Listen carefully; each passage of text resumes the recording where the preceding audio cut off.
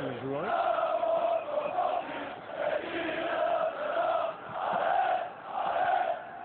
A good play from Ivanov. And Ivanov's cross here is dangerous, and the first goal of the night goes to Lokomotiv Plovdiv, and that Benjamin Boban Yanchevski has got it. It's Bolton nil, Lokomotiv Plovdiv one, and the journey for those fans has been very worthwhile.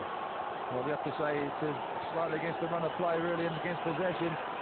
The manager's happy. Good play here. Ivanov, good one, too. Gets the other side of Pedersen. He looks up, and the man in the middle who scores is unmarked. Nicky Hunt can't get across there. It's a one.